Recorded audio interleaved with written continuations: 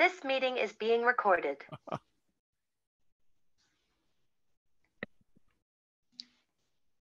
Oh, all righty. Uh, good evening. This is Greg N4KGL. You're not sharing. Oh, there you go. I'm pretty excited about uh, field day this year. Um, I'm going, I've got a little about uh, our field day.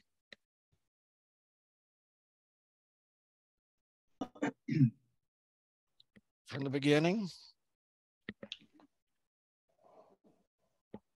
Well, this is uh, uh, my plans. Uh, actually, uh, Rick, NZ2I, and myself are planning a field day, and uh, we'll um, uh, walk through that uh, briefly, and then we'll get to some uh, networking stuff um, for logging that uh, I found pretty interesting.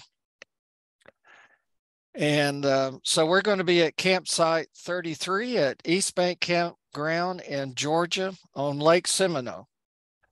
And if you look carefully in this picture, this is actually a picture from Winter Field Day, which was six months ago. So if you look at this picture, you'll see a hex beam um, here, and you'll see some supports that uh, uh, supported a uh, 80 through 10 end-fed. Um, and of course, here's uh, my trailer, and we had a little uh, shelter, um, uh, which we had the panels on here, but for uh, June field day, the uh, panels will come off because it's the opposite weather. It's going to be really hot, I imagine. Um, all right. Well, uh, why do I like campsite 33? Well, on the right, you can see that there's some green space, enough green space to handle a uh, 132 foot uh, end-fed uh, that will work on 80 through 10 meters. And uh, there's also enough room um, between the two uh, trailers here that um, to put a hex beam. So I got a little picture there where the hex beam would go. And uh, for those in Dothan, uh, we're about an hour away from Dothan. Uh, we'll be about an hour and a half from Panama City, or maybe a little more. Um, this is what it looks like at sunset, and what could be more beautiful than a hex beam and, and a sunset over Lake Seminole? And um, I've talked myself into using uh, QRP, uh, which for field day is five watts. Um, and to say it in a simple way, uh, two QRP CW contacts equals five 100 watt CW contacts. So ARRL uh, is very generous uh, there's a factor of five brewing in there. And um, uh, two QRP CW contacts would be equal to 10 100 watt phone contacts. So uh, that's kind of motivator. Uh, you know, you may make less contacts, but your score. So if you're interested in the score, And I think it's particularly attractive if you're going to use CW, then um, um, uh, you can make fewer contacts, but still have a good score. Uh, a digital counts just like CW, so that would apply also. So these ratios would still apply. Uh, uh, running QRP should take less battery capacity. Uh, if you're using batteries and uh, reduce interference, uh, particularly if you, obviously if you have more than one station going, uh, QRP. Probably um, uh, less potential for interference. So, uh, as I mentioned, uh, Rick and Greg, uh, this is a particular class for uh, field day. It's Bravo battery. Uh, it, it's one or two people as opposed to uh, the A class, which can be three or more. This is one or two. And they do separate out the scores by whether it's a one or two person. Uh, two transmitters, um, five watts or less. And uh, uh, I've got a couple of hefty uh, lithium iron phosphate batteries, uh, solar panels. I mentioned two antennas, the Buddy Hex, which covers 20, 15, 10, and 6, and the My Antennas EndFed will let us get on 80 and 40 as well as 20, 15, and 10, should, should we want to. And um, uh, logging, I'm looking at using N1MM Logger Plus. Um, I will say that you don't have to use software to log. Uh, ARRL has paper log. Um, it might require, depends what you do with it. Uh, it might require a little extra work if you do it on paper later, but but if you don't have a huge number of contacts, it's doable. I've done it on paper. And my fallback, if all this software doesn't work at field day, uh, my backup plan is uh, a paper log. Uh, I just happen to have two Toughbook laptops. And then I said, well, you know, um, I've always heard about networking two laptops together. Uh, well, maybe I should try that. Uh, I've always been afraid to try it, but uh, this time uh, I have a little time to test it out. Um, there's another twist to this. Uh, I do have a multiplexer called a quadplexer that would let uh, Rick and I work on the same antenna at the same time, but different bands. All right, getting to the networking. Um, so let's say you have uh, two transmitters. Of course, uh, this really wouldn't apply if you just had one transmitter. But if you had two or more transmitters, um, you may want to um, uh, uh log in a network fashion. Um, uh, it can help with the dupes. Um, and um, also you can get your statistics, how you're doing at any time. Um, particularly, um, so it gives you pretty much all the capabilities the logger has, um, but um, uh, it integrates the context for the two um, transmitters if you have two and then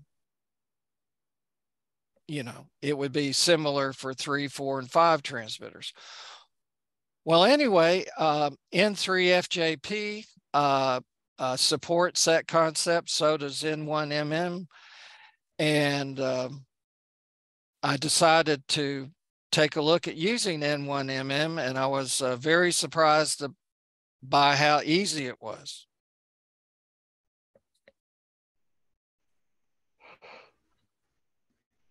Okay, well, um, now uh, the purpose of the multiple computer networking is to support logging of QSOs, so multiple computers. Uh, this is accomplished with application defined data replication. Now, this is for N1 MM. Uh, N3FJP, uh, I haven't done it, but I understand there's a one, there's a database that is uh, shared. So that database would likely be on one computer. Uh, but N1MM um, does it differently, which is the second bullet. Each computer will have its own copy of all the QSOs and N1MM Plus will synchronize the data so that it's the same on each computer. Um, so uh, N11, N1MM is kind of oriented toward contesters and they say uh, that uh, perhaps uh, this replication approach would be better than a single database. Are- you saying field day is a contest? Uh, field day is not a contest, but it is a contest. Did you get that? I got it, I got it. okay. All right. Well, this is out of the documentation for N1MM, and you can read that. And uh, uh, what amazed me was that it doesn't matter what kind of network you're on. It could be wireless, it could be Ethernet, um, it could be connected to the internet, but it doesn't have to be. Uh, so um, I have two laptops, so um, I'm just using a crossover Ethernet cable between the two laptops. So my networking is just an Ethernet cable. Um, now, so um, I, I don't really require the internet per se, although I'll mention it probably a good idea to start off maybe with my um, hotspot on my phone, uh, just to make sure the timing, the time is right and various things. But, but when it comes down to it, uh, you could just use a crossover ethernet cable. uh, happens the two laptops have ethernet plug on them or jack. So that was good. I uh, won't go through this. Uh, but they uh, really uh, for this to work the uh, software configuration on each computer needs to be identical the same versions the same setup the same contest and on down the line and this is just all the details to make that happen so there's a little bit of work here something you have to watch out for um, now, well, uh, this is uh, on the patio here. Uh, so here's the uh, radios, the two laptops, the power supplies or the battery boxes. okay. And uh, uh, I plan to use ICOM 705 mainly for CW. And it's connected to the laptop on the left. On the right, is the ICOM 7100. Um, it's probably going to be digital, uh, either PSK 31 or FT8, and it over on the right. And there's a red cable that's connecting these two laptops together. Now, so so they both see the same thing. They both they both see everything. Is that where? well, works? what is really cool is that no matter what kind of network you're on, if the two laptops are in the same subnet, in other words, if their subnet mask is the same number, and it's usually 255, 255, 255, the uh, uh, laptops will see each other. So uh, each program discovers the other laptops that have the same software on it. So they copy each other back and forth as far as the data is concerned. Is right. Right. Oh, okay. okay. They do so it. This so Does it identify it as the other laptop's data or it just It- mixes it all? It together? does, and I, I'll go to a screen for Oh, that. okay, okay. Yeah. Are both those, are both those yours? Yes, You've got two tough books, okay. well, there's a story behind that. I'll tell you all right, later. all but- right. Now, uh, uh, the beauty of Tough Books is the screen. You can read it in sunlight. You can read it in any old time. Uh, um, uh, so, uh, you know, there's some trade-offs. Uh, I don't have to use Tough Books. Uh, you can have a mix of computers. And in fact, they talk, if talk about you can have a hot spare, you can have a third computer set up. Uh, I'm not going to do that, but anyway, okay. Now, so uh, this is a picture of the screen on uh, one of the computers. And the bottom screen is what you usually see with N1MM.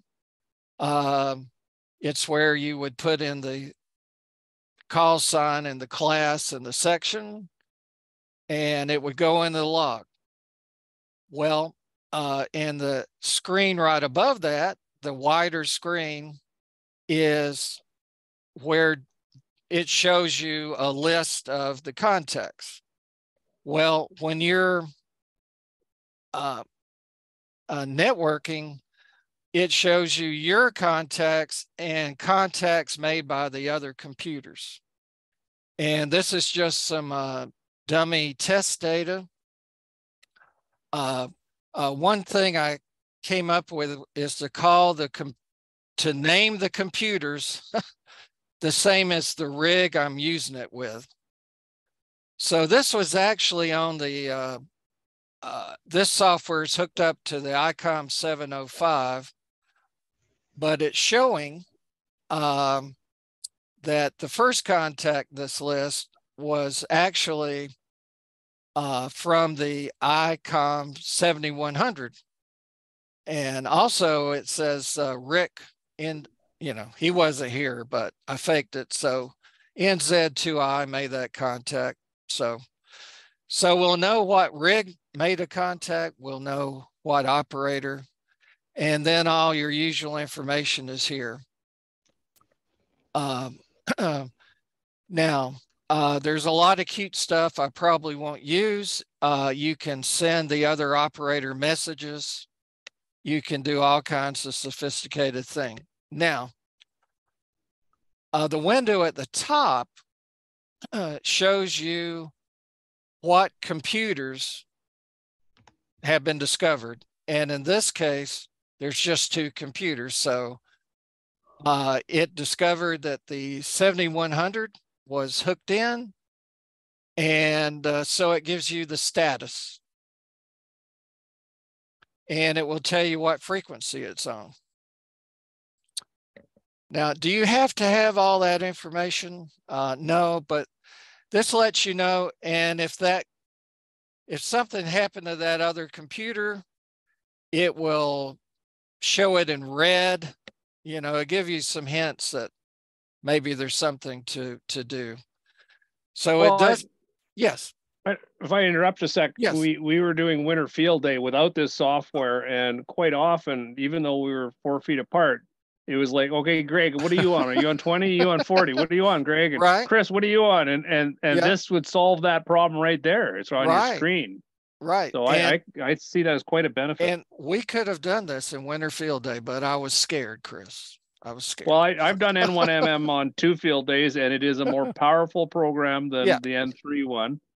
But it, I did uh, some some research and apparently the now again it's not a contest I know field day but the contesters uh I would say I think it's something like 80 or 90 percent of them are using this software. this yeah. logging software. Of course, there is even other software that Yeah. contesters use, but Yeah. this this This one's very popular. This is the And- main one. And I have to give them credit that they made this networking. So all I had to do was turn on the computers. And since they were on the same subnet, they discovered each other. and away we go. And I didn't have to particularly set up, you know, go through a lot of Windows settings or anything like that. So it's sending packets to keep these computers synchronized. And when, you know, when if I add a contact, it it practically instantly shows up on the other computers. In this case, just one. So, well, anyway, now if you haven't used N1MM before, uh, you know, you might want to get some experience with. So I'm not telling everybody to go use N1MM, but if you, um, uh, I think, like I say, I was scared to do this part of it. So you kind of gradually work into these things. And uh, N3FJP is an awesome program. It's probably easier to catch on to, and it Yeah, would be perfectly fine. Yeah. Yeah. So now I have another slide. Now, um, you kind of have, you know, a problem. It's, it's not insurmountable. In fact, Chris told you how to handle it. But uh, when you're doing like uh, uh, FT8, um, you know, those contacts are in one log and you might be doing sideband and those contacts would be in the N1MM log. But um, uh, uh, N1MM has a way to handle digital modes where uh, you base you basically tell N1MM where the executable uh, exist on your computer. And then when you open up N1MM, it will open up the application like WSJTX Or FL Digi. or FL Digi, and it will, behind the scenes, it will grab, you know, your contacts and it will stick them in the N1MM log. So, I'd also like to add that Yep. if you make some changes to FL Digi, uh, let's say it's your favorite PSK software, and are running N1MM in control of FL Digi, it doesn't alter alter your regular FL Digi. So when the contest is over and you go back to FL Digi, your setting, your old settings to FL Digi are still there. The N1MM um, runs it, but it, it brings in its, it, y- new Yeah. parameters. So it doesn't botch up your regular non-contest parameters, which is a nice feature. Yep. However, uh, when you bring it up for, you know, initially, uh, with N1MM, you need to go in and check your settings to make sure they, it's a, it's a different instance. And it won't necessarily carry over all your settings. So you just need to go, uh, um, you know, uh, through your settings and you would put it in the contest mode for field day. So, Hey, Greg, yes. as far as using that type with two computers, when you're working someone, how do you handle dupes? How does it, how quick does it tell you, hey, don't work this guy, you already got him? Or Well, somebody else on the other, you know what I mean? As soon as you type it into the box. So once you put that call in, it'll tell you right away, Yeah. that's a dupe. Yep. Okay. Yep. Typically, your partner won't be on your same band or frequency anyhow. It's And just when uh, you, you know, when you swap around, sometimes you come back to a band, or he may work the band you've been on, and then Oh, he yeah. may Yeah. work the same guy without knowing. So he's got to be able Yeah. to punch that Well, call in to see it's a dupe before he works him. well, that's an advantage in having everything integrated and everything together. Yeah, they're And- they're they're synchronized within seconds. Yeah. So you, uh, the club here in Dothan is using N3FJP and, uh, uh, they'll, they'll have success with that also. Uh, I hope I have success. but if I don't, I have the paper logs as a backup. but it's working at the house. Uh, so uh, I, I'm encouraged. Now, have you done, have you done your FL Digi with it yet, Greg? No, it, uh, I haven't. I can that- send you a YouTube video with a guy that, that goes into that in great detail. Okay. And, uh, it is, it is a little bit of a Yeah. learning curve. It's Yeah, powerful, I- but it's not simple. I think even FT8, uh, there's, um, when you're using N1MM and FT8, um, there, you know, it, there's a few extra things that they give you. Uh, and that's a little learning curve. So definitely for FT8 and N1MM, uh, I'm going to look at the information, but I suspect it's a little bit of a learning curve. So, all right. Well, uh, as you keep doing field days and group field days, uh, it's a choice if you want to get into this kind of thing. I've avoided it so far, but I'm going to try it this time and we'll see what happens. uh, and the bottom line is I was just totally impressed with how easy it was with N1MM. Uh, any other uh, questions, comments tonight about uh, field day and um, and the logging part in particular? All right. All right. Well, uh, I'm hoping everyone has a great field day. Uh, you can actually keep it simple. Uh, and uh, uh, that's generally a good idea. So, um, all right, 73.